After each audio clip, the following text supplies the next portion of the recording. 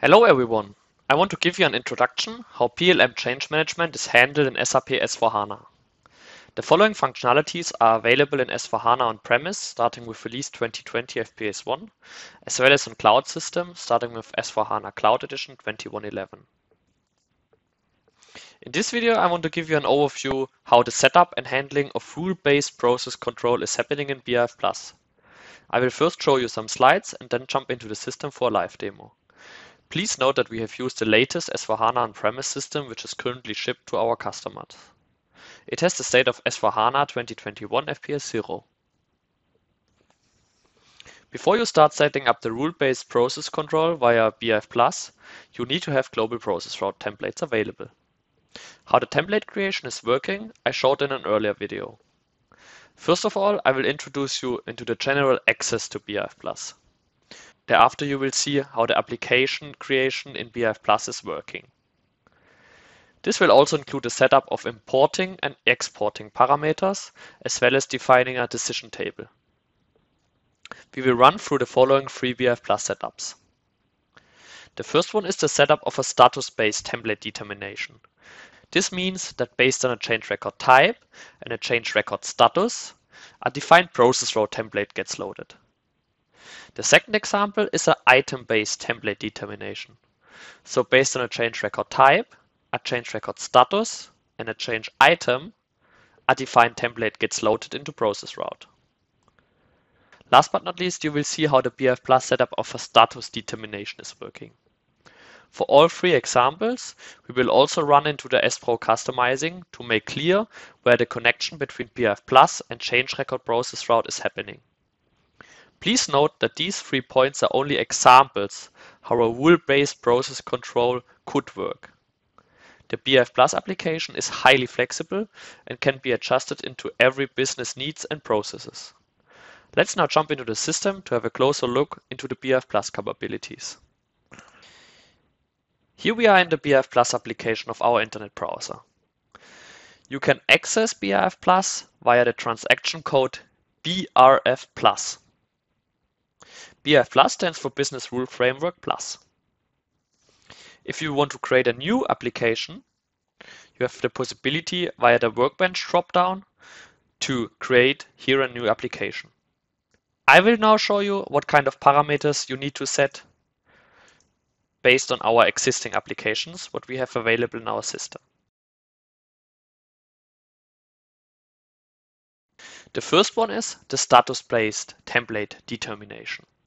First of all, we are here in the application structure of the newly created application.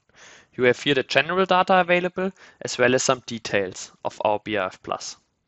To define importing and exporting parameters, you need to create a new function. This can be accessed via the tree here on the left-hand side. We have created the following function. Again, we have here the general header data available the next tab is the, the detail tab with the expression. We will come back to this later.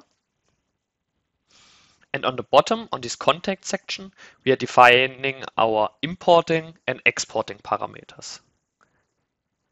The importing parameter is in this case the header structure of our change record.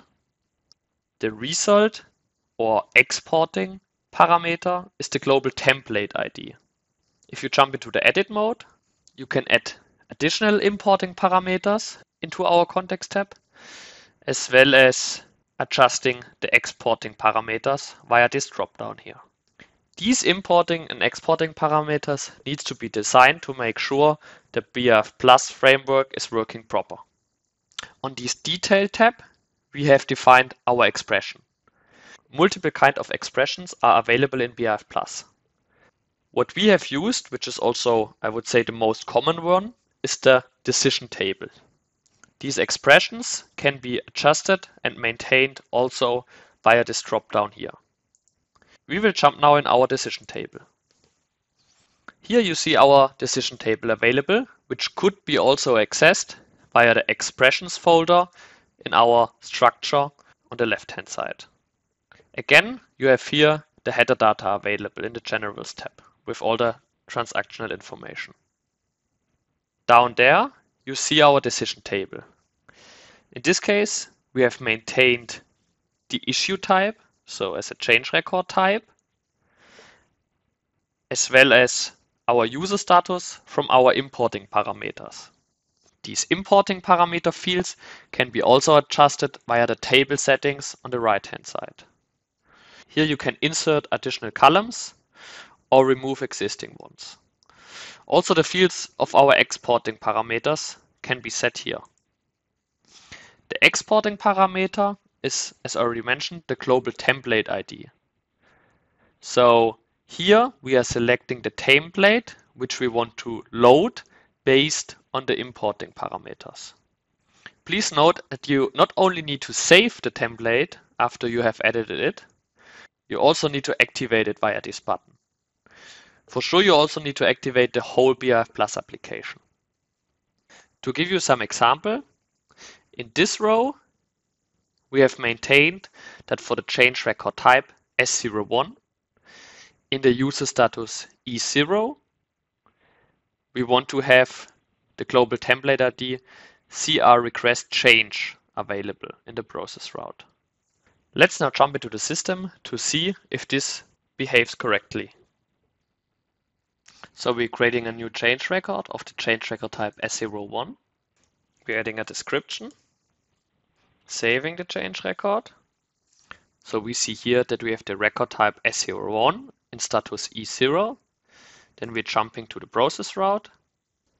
And there we see this template loaded what we have set up in BRF+.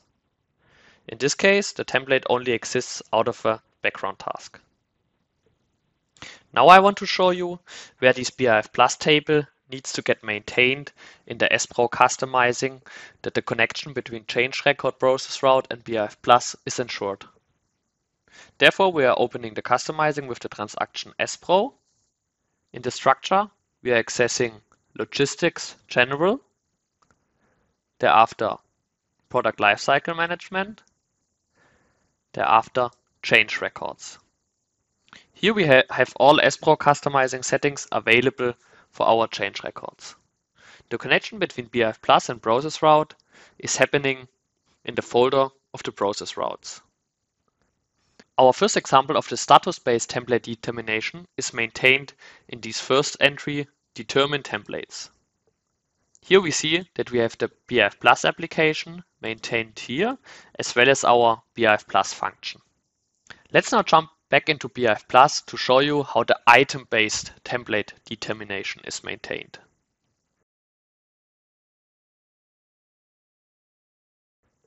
The item-based template determination is also pretty similar than our first example.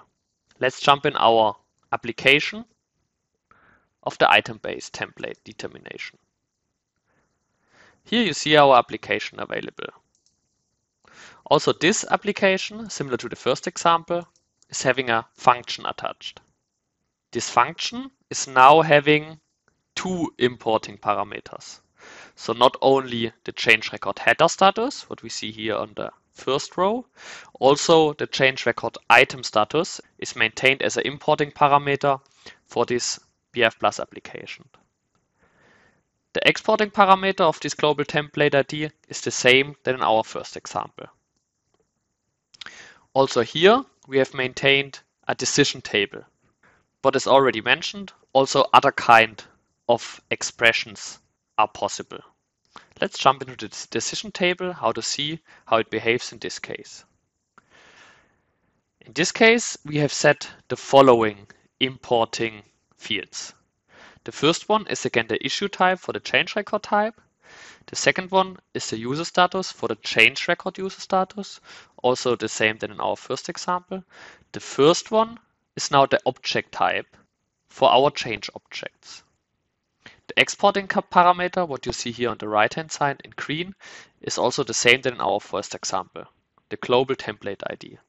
So here we see based on the change record type and based on a status, in addition, based on a change record object, we want to load a special template ID.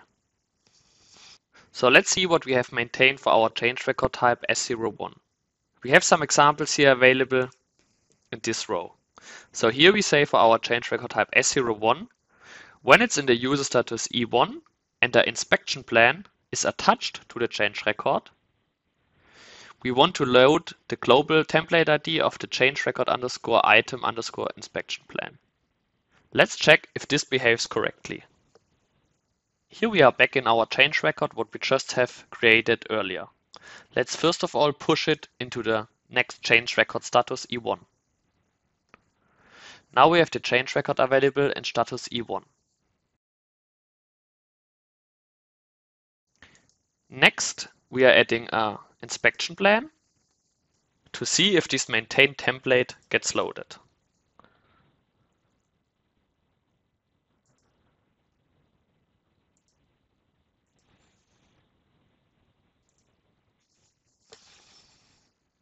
After saving the change record and switching into the process route, we see that this new item, what we have maintained in BRF Plus, gets loaded into the process route section. Also in this case, we need to maintain this Plus application in our SPRO customizing. I will just show you where this is happening. In general, you can say it's happening for sure in the same structure of logistic general, PLM, change record, process routes, and then you need to select the second entry, determine templates for object items. Here this BRF Plus application of the item-based template determination is happening.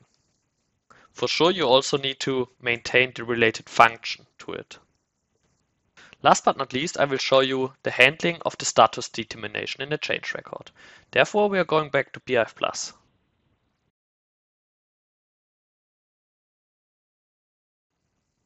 Back in BRF Plus, we have again additional Plus application available. In this case, it's called peer underscore status. Also here, we have a function created, which is again describing the importing and exporting parameters. In this case, the following three importing parameters are maintained. The exporting parameters in this case is not a global template ID, it's the change record user status. The expression is again a decision table. So here you see the decision table of our status determination. So here we are defining what is happening in a special user status after a process route was approved or rejected. So the importing fields are again the issue type, so the change record type, the change record user status, as well as the decision which is coming from the process route. The exporting parameter is the user status. So in this case, the change record user status, where the change record needs to get pushed. To give you some example, for our change record type S01, we have maintained here if the change record is in user status E0 and the decision is not equal then rejected, then we want to push the change record from E0 to E1. This Plus table also needs to get maintained in our SPRO customizing. It's again the same structure with our change records. Also again in the folder of the process route. In this case, you click the entry Define Change Record Status, where you're maintaining the BRF Plus application and function. Thank you everyone. I hope I gave you a first overview how the setup in BRF Plus for rule-based process determination is working. With our three examples, you should now have some impressions how your business processes could be realized with the help of Plus.